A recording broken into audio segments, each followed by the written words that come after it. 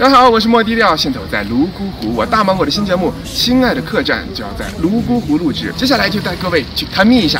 泸沽湖是一个景区，里面没有的士和滴滴，所以只能选择包车。身后的就是落水码头。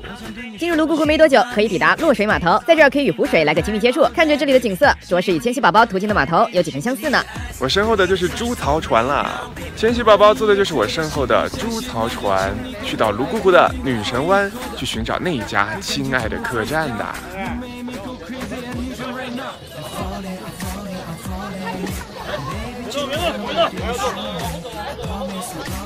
在泸沽湖，随处可见具有民族特色的店铺。刘涛、千玺、陈翔他们不就是走在石板路间，在这种类型的店铺采购吗？亲爱的客栈泸沽湖，在一个隐蔽的岛上，每天需要坐猪槽船进出，这样的生活方式，想想也是惬意和浪漫。我身后的景色是不是特别像《亲爱的客栈》里面的场景呢？刘涛、千玺、陈翔他们能看到的也是我身后这样一片美丽的风景啊！这就是泸沽湖。如果各位想来感受易烊千玺在泸沽湖看到的美景，应该怎么来怎么玩呢？下面就为大家送上攻略。从丽江去泸沽湖，各位可以选择在客栈叫车，大概是七十五元的去程，如果往返的是一百三十元，时间大概是四个小时。泸沽湖真的就在一个山沟沟里，需要绕山路十八弯才能真正到达。途经观景台，大巴会停车给大家游览拍照。在去泸沽湖的路上，他会中途放下来，让我们去上厕所，跟厕所收费一块钱。然后厕所后面呢，就是一个金沙江观景台，我们去看一下。这里的厕所都要收费，记得准备零钱，不能二维码支付。第二个观景台，玉龙雪山洗山峰。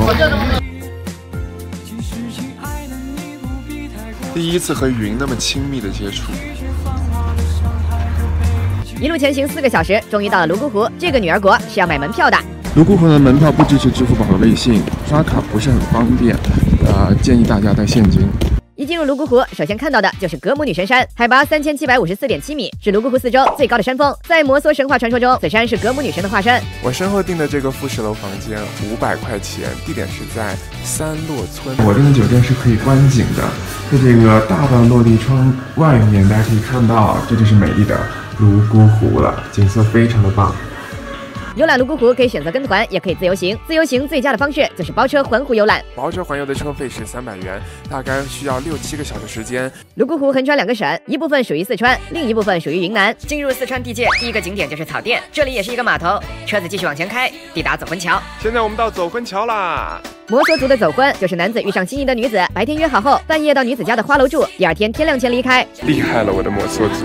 泸沽湖海面海拔二千六百八十五米，要给大家一个温馨的提示，一定要记得擦防晒，紫外线太重了。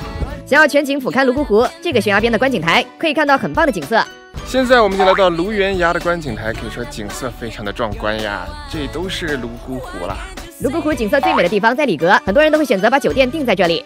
我身后的是爱心湖观景台，在这可以鸟瞰泸沽湖。在远处还可以看见一片乌云在下雨，真是一种奇妙的体验。一转眼来到了包车游览的最后一站，我身后的就是情人滩。情人滩给我一种中餐厅拍摄地泰国向导的感觉。最后要为大家安利摩梭族美食：猪膘肉、牦牛肉、鲜美的石锅鱼、麻香的豆腐乳。